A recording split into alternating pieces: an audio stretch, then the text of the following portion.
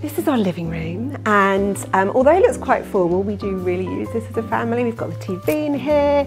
Um, I wanted to have a sort of traditional sofa, so I chose the Eliza sofa. And I love the Eliza because there are no back cushions, um, it's all upholstered, it's super comfy, it's really deep, and I knew I wanted a stripe in here, and the Tori Murphy black and white arbor stripe is perfect.